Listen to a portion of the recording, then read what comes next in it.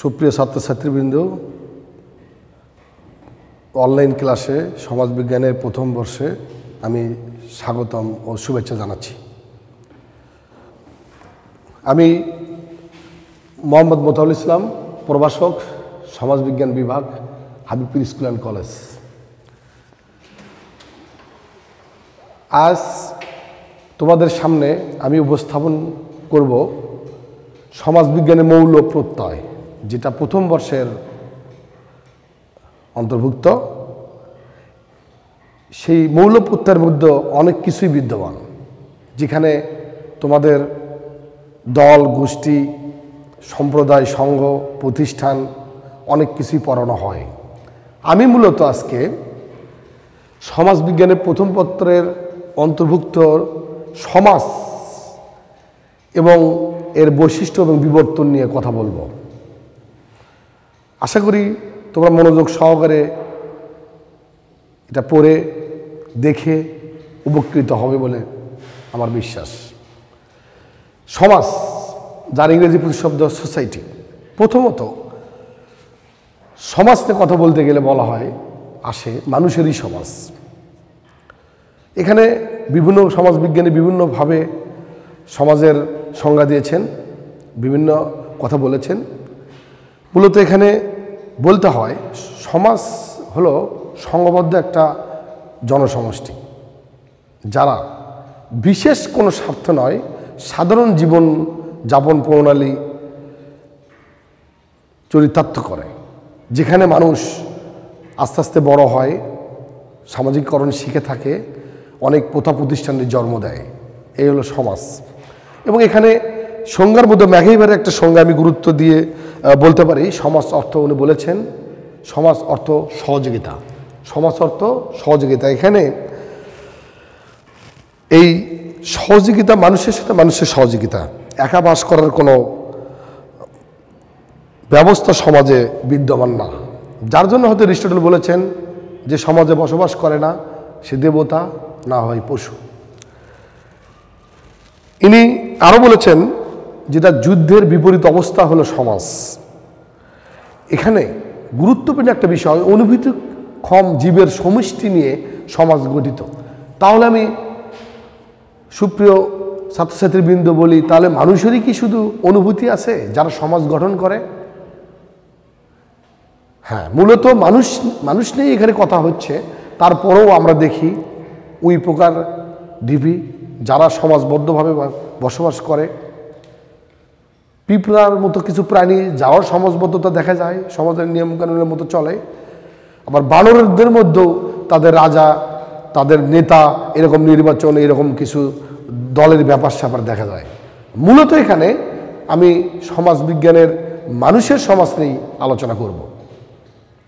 তাহলে একটা পরিষ্কার আমি বলতে চাই যে সমাজ বলতে অনুভূতি ক্ষম জীবের সমষ্টি, যেটা ম্যাগাইবার একটা গুরুত্বপূর্ণ সংজ্ঞা দিয়েছেন। আসলে মানুষের বাইরেও সমাজ তাহলে হয়। এটা একটু ধারণা আমাদের রাখতে হবে। আমি এখানে পরবর্তী সমাজের বৈশিষ্ট্য সম্পর্কে বলতে চাই যে সমাজের অন্যতম বৈশিষ্ট্য হলো সমরূপতা।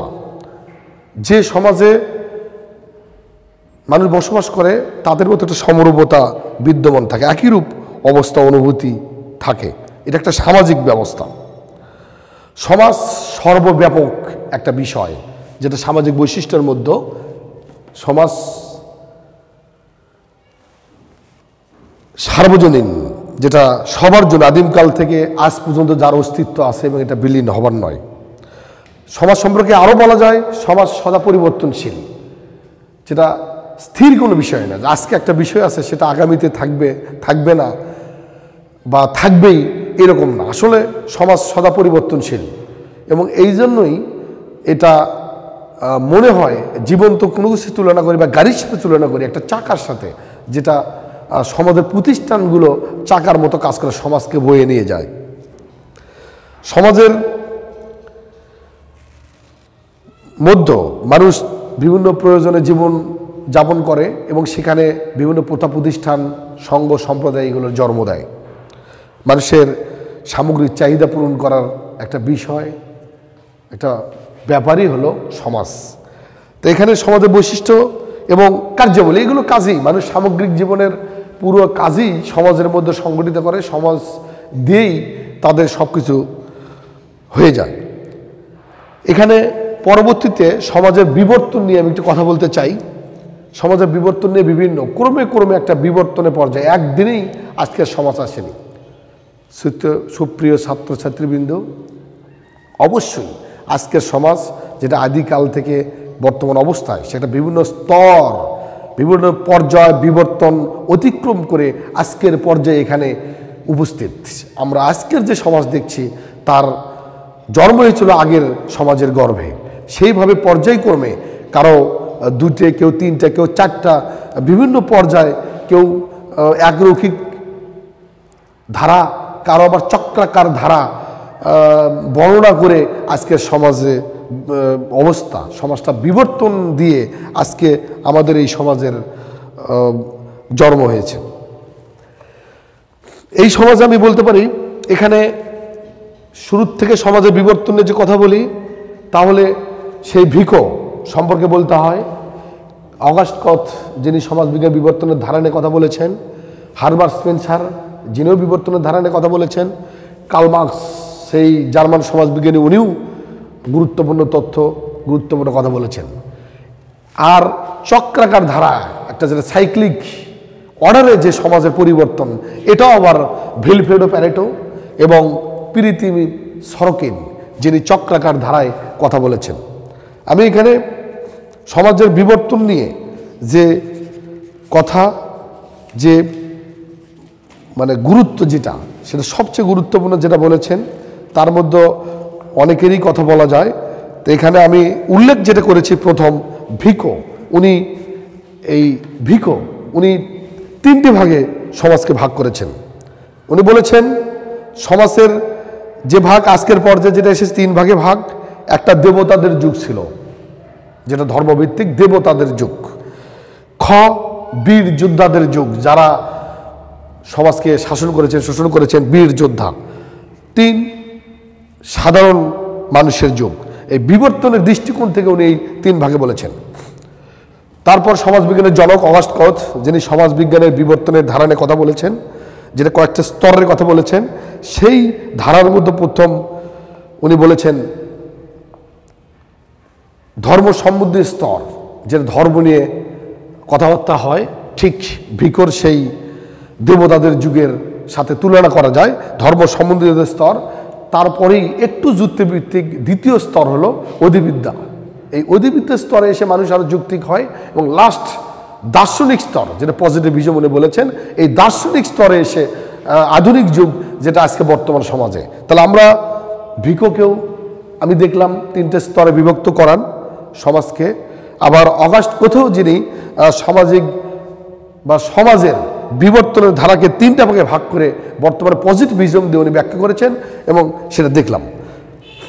আবার হারবার স্পেন্সার, যিনি সমাজবিজ্ঞানের গুরুত্বপূর্ণ একজন সমাজবিজ্ঞানী, উনি অনেক কিছু বলেছেন। সেখানে উনি বলেছিলেন যে প্রাচীনকালে সমাজ বিশৃঙ্খলভাবে ছিল এবং সেখানে অনেক অনেক অসামঞ্জস্যতা ছিল। সেখান থেকে সামঞ্জস্যতা এসেছে এবং জটিলতা থেকে শৃঙ্খলা এসেছে। অসাম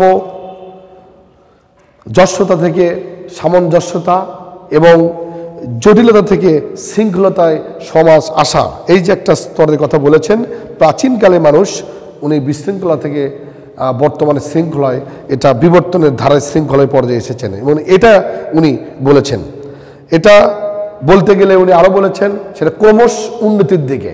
এখানে লক্ষণীয় যে ভিকো অগাস্টকো, ধারবার স্পেন্সার যেটাই বলে থাকুক না কেন, তাদের উদ্দেশ্য সমাজের বর্তমান স্তরে নিয়ে আসা, বিবর্তনের সূত্র দিয়েছেন এবং ওনারা বলেছেন যে ক্রমেই উন্নতির দিকে ধাবমান সমাজ।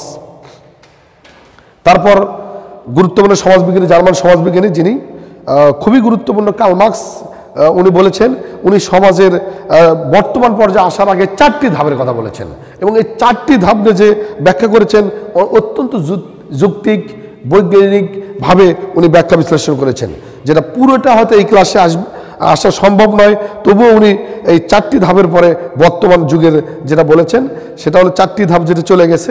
একটা প্রাচীন যুগ, প্রাচীনকালে যেটা অনেক আগেই প্রথম স্তর, তারপর উনি বলেছে এশিয়াটিক যুগ, প্রাচীন স্তরের পরেই। তারপর বলেছেন সামন্ত যুগ, তারপর উনি বলেছেন পুঁজিবাদী যুগ, এবং শেষে সমাজতান্ত্রিক যুগ।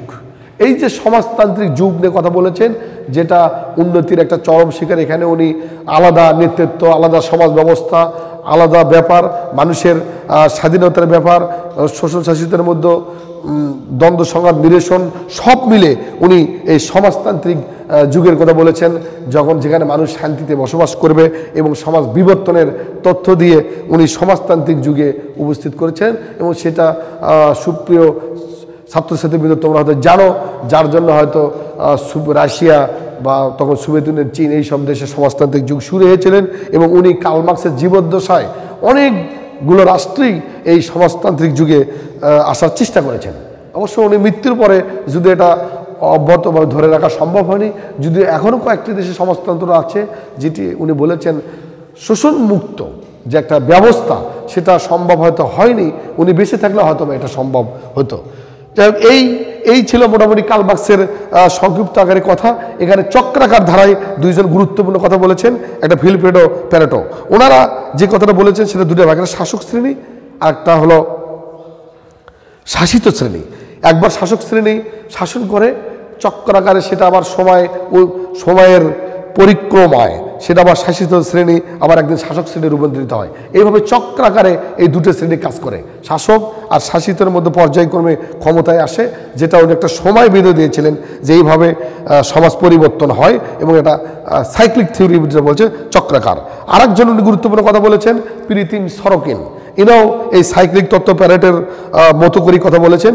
তিনি তার গ্রন্থে উনি বলেছেন যে সমাজ ঠিক প্যারোটও যেমন সাইক্লিক তত্ত্ব দিয়েছেন ঠিক এইভাবেই পৃথিবী সরকিনও এই সাইক্লিক তত্ত্বের কথা বলেছেন। যাক পরিশেষে আমি একটা কথা বলতে চাই এই যে সমাজ মেইন ফোকাস অফ ইন্টারেস্ট সমাজবিজ্ঞানের এই সমাজ নিয়ে যেটা আহ, আসলেই বলতে যেটা আমাদের সমাজবিজ্ঞানের মূল বিষয় এই সমাজ নেই বুঝতে হলে আমাদের এই সমাজের বিবর্তন বুঝতে হবে বৈশিষ্ট্য বুঝতে হবে সমাজবিজ্ঞানের এই সব জানতে হবে। আমি এই আমার আজকের মতো, আমি আজকের এই অনলাইনের এই ক্লাস শেষ করছি। আল্লাহ হাফেজ।